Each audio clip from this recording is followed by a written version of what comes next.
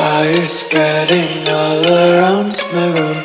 My world's so bright, it's hard to breathe, but that's alright. Hush.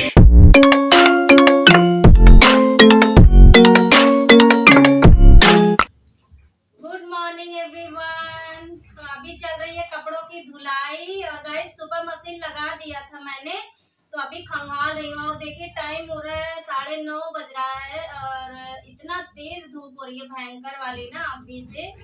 गर्मी आ गई, इतना तेज धूप हो रही है कि आँख मेरी खुल ले रही है। अंदर बैठी फिर भी बहुत तेज मतलब सामने इधर देखने पे ना धूप बहुत तेज से लग रही है।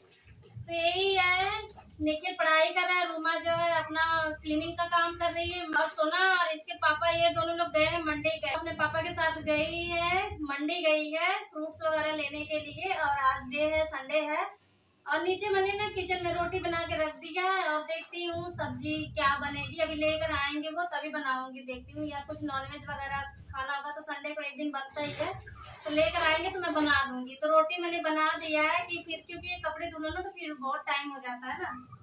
रोटी बना के रख दी है, बस आ गई कपड़े खंगालने के लिए। कपड़े खंगालती हूँ, फिर चलते हैं नीचे हम लोग।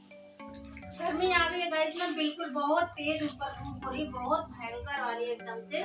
धूप और लू चल रही है, एकदम अजीब सी। यही है। कपड़े, इसीलिए मैं ना ज़्यादातर शाम को धोती हूँ या रात में, लेकिन आज सुबह उठी, सुबह कोई संडे को काम नहीं रहता ये लोग लेट ही उठते हैं तो फिर मैंने सोचा ना कपड़े ही धो लेती हूँ इतने टाइम में। तो यही है, अभी तो कपड़े धुल रही हूँ। चलिए फटाफट धुल लेते हैं, फिर जो है कि चलते हैं नीचे।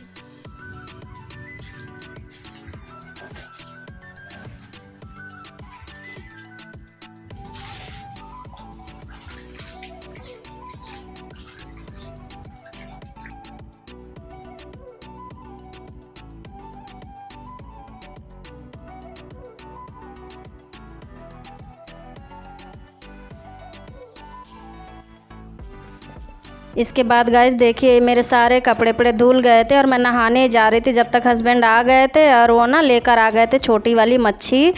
जो कि सबको घर में बहुत पसंद है तो ये देखिए, ये मच्छी थोड़ी बड़ी साइज़ के ले आए थे और ये बहुत ही टेस्टी लगती है। एकदम जो छोटी वाली होती है ना, वो थोड़ी से ना बच्चे उसमें काटे रहते हैं ना तो सही से खा नहीं पाते तो फिर ये थोड़ी बड़ी वाली ले आए थे। और इसको गाइस अब मैं जो है कि इसको धो लूँगी, अच्छे से बहुत टाइम लग जाता है इसको साफ़ करने में, धुलने में, फिर उसके बाद धो के हल्दी लगा के रख दूँगी, फिर मैं थोड़ा नहा वहा के अपना रेडी हो जाऊँगी, फिर जो है कि मैं इसको बनाऊँगी।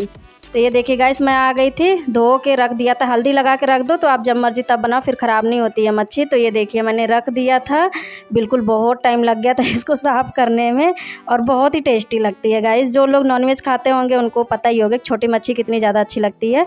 तो ये देखिए, उसके लिए मैंने मसाले ले लिए, छोटी मच्छी में मैं यही मसाले डालती हूँ। ये देखिए, सरसों के काले वाले जो दाने होते हैं ना, सरसों के दाने हैं, एक चम्मच हल्दी है, लहसुन है, और ये देखिए थोड़ा सा अदरक ले लिया, और ये देखिए सूखी मिर्च ले लिया मैंने और हरी मिर्च दोनों में ले रही हूँ और थोड़ा सा एक चम्मच ले लिया जीरा। तो मच्छी कोई भी बनाओ बट सरसों का टेस्ट बहुत ज़्यादा अच्छा लगता है मच्छी में और हल्दी इसमें थोड़ा ज़्यादा ही लगती है। तो ये देखिए, फिर मैंने ना इसको देखिए पीस लिया था और निकाल लिया। ये पानी में फेंकूँगी नहीं गाइस इसी में डालूँगी मैं। और ये देखिए, हमारा मसाला जो है कि मैंने पीस के रेडी कर लिया है। तो ये छोटी मच्छी बहुत ही इजी तरीके से बन जाती है। बस इसको साफ़ करने में क्लीन करने में बहुत टाइम लगता है। तो ये देखिए, मैं ये जो लोहे की कढ़ाई है ना तो इसी में हमेशा बनाती हूँ गाइस इसमें बहुत ही ज़्यादा टेस्टी और करारी बनती है क्रंची सी बनती है। तो इसमें सारी मच्छियों को जो है ना, इस तरीके से निकाल देंगे और जो जितने सारे मसाले थे, वो मैं इसी में डाल दी हूँ। कुछ नहीं करना तो मैं मसाले डाल दो, मच्छी डाल दिया सारा। और ये देखिए, लगभग आधे कप के जितना जो है ना, कि ये ऑयल है मस्टर्ड ऑयल है, सरसों का तेल है तो इसको हमने डाल दिया है। और जो मसाले था ना, इसी में मैंने स्वाद के अनुसार नमक भी डाल दिया था गाइस और इसको ना, इस तरीके से हाथ से अच्छे से मिक्स कर लेना है। और मिक्स करके गाइस इसको ना, बस हमें क्या करना है कि मीडियम आँच पर रख देना है, पकने के लिए ढक के रख देना है। पकने के लिए तो बहुत ही अच्छे से धीमे धीमे जो है कि पक जाती है और बहुत ही करारी सी और टेस्टी बनती है। तो जो भी, अगर इससे भी छोटी वाली मच्छी भी रहती तो भी मैं इसी तरीके से बनाती हूँ। कई तरीके से बनती है, और बड़ी वाली मच्छी तो फ्राई करके बनती हो तो पता ही आप लोगों को दिखाया था रेसिपी मैंने शेयर किया था। बस इसको देखिए, हमारा रेडी कर दिया मैंने। अब इसको मैं ना, इसको एक बार थोड़ा सा मतलब फ्लेम मैंने तेज़ कर दिया। जैसे ही थोड़ा सा मतलब गर्म हो जाएगी कढ़ाई ना, बस मीडियम आँच पे करके इसको मैं, और इसको बराबर खोलना नहीं होता है बार बार जो मच्छी, छोटी वाली बनती है ना, इसको बार बार नहीं खोलना होता, इस तरह से हम बना लेंगे। तो देखिएगा गाइस उधर मैंने चढ़ा दिया था मच्छी और मुझे लग गई थी, भूख टाइम भी काफ़ी हो गया था तो ये देखिए मैंने फिर ना सभी लोगों ने रुमा काट के दे दी थी सबको फ्रूट तो फिर ये मेरा रखी थी तो फिर मैं फ्रूट खाऊँगी अब। तो गाइस अभी हमारी मच्छी होने में टाइम लगेगा, रोटी हो गई है। जब तक जो है कि थोड़ा नाश्ता कर लिया जाए फ्रूट्स खा लिया जाए, और टाइम हो गया ग्यारह, साढ़े ग्यारह बज गया है, भूख भी लग गई है।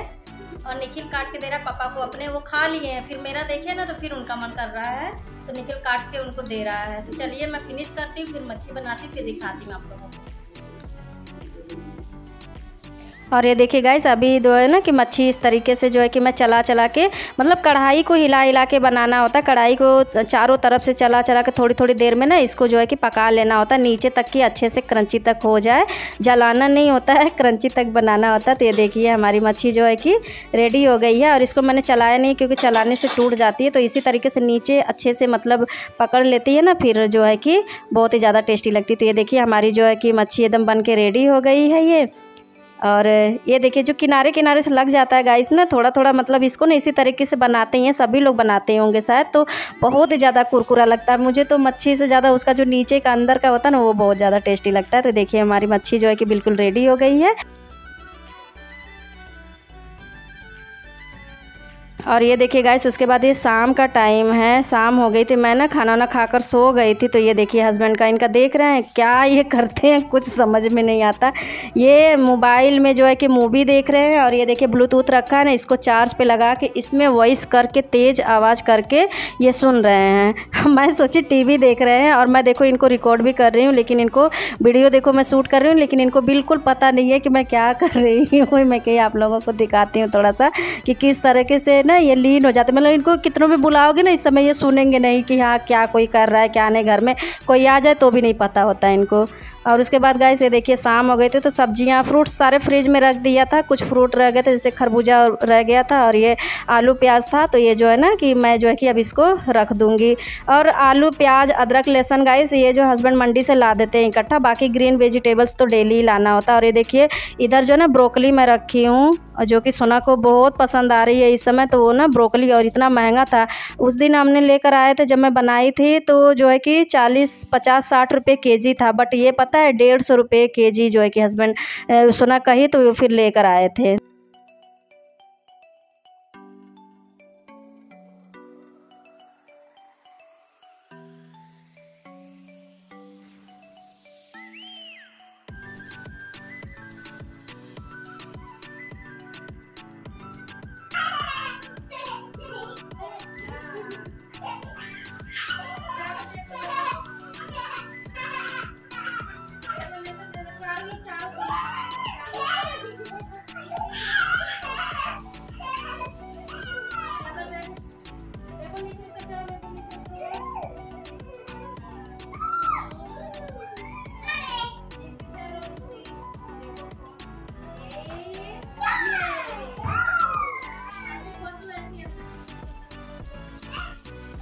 तो ये देखिए, ये बच्चियाँ आ गई थी, आती हैं सब ना तो फिर ये मेरे पीछे, आगे पीछे घूमेंगी कि कह रही हम, मैडम, मैं ना मैम, हम जो है ना कि चादर बिछाएँगे। तो मैं कि अच्छा चलो ठीक है। तो सारे मिल के चादर बिछा रही मतलब खेलना होता है इन लोगों को ना कि खेलने के लिए आती हैं कि खेलना है, हमें कुछ मतलब अभी आएँगी, खेलेंगी थोड़ा मोड़ा मतलब फिर बिस्किट वगैरह कुछ भी दे देती हूँ, खान खा लेती फिर उसके बाद घूम फिर के फिर चली जाती हैं।